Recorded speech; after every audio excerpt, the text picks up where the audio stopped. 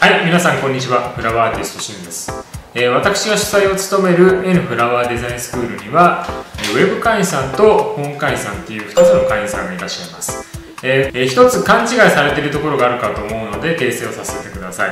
えー、ホームページの中でウェブ会員ステップアップ本会員ステップアップ講師みたいな感じで書いてあるのでとりあえずこうウェブ会員からね始めてみたいなんていう方がいらっしゃるんですが、えー、実際ねウェブ会員と本会員というのは全く違う存在で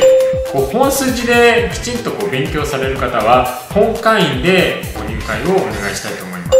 えー、ウェブ会員はですね完全サブ的に動画を見てこう何ていうんですかね、えー、テクニックを入れていくっていうか見て楽しむぐらいのレベルの感じなので、えー、うちのスクールのスタイルを吸収したいという方はですね本会員にならないと吸収しきれないと思います、えー、ですからですね、えー、とりあえずこうウェブ会員から始めて様子を見て本会員っていう方いらっしゃるんですけどここは全く違うもんなんで様子を見ることはできないと思いますので是非ねこう本会員からのご入会をお願いいたします。えー、ただですねこうとりあえず見てみたいという方はですねウェブ会員に登録をするんではなくて、えー、実際のスクールの体験レッスンというのを受けていただいてその体験レッスンで実際にこう入校するかしないかを決める基準にしていただきたいと思います。それとですね N フラワーデザインスクールでは講師をねうちのスクールの講師をしてくださる先生を募集しております。え、こちらにはですねある一定レベルのもちろん基準がありまして、え、それはですね例えば生け花の先生を今しているとかフラワーデザインの先生を今しているとか、え、それとですねあとはもうやはりその方のレベルっていうのもありますしただまんべんなくねこうレベルが高いというか何でもできる人を募集しているわけではないので、えー、ぜひですね私は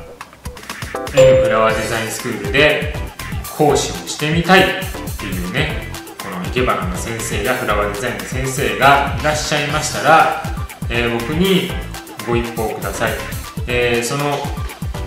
ご一報くださるアドレスは、え、この動画の下のリンクに貼り付けておきますのでそちらからよろしくお願いいたします、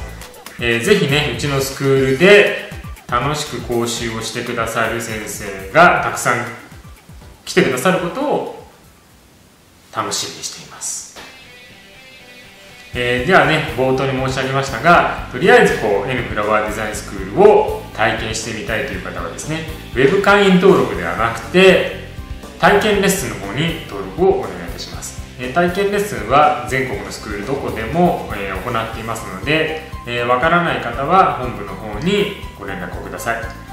え、ではまた次回お会いしましょう。See you next time!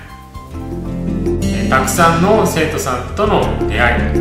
いそしてですね良い先生をしてくださる方との出会いを楽しみに待っていますよろしくお願いいたします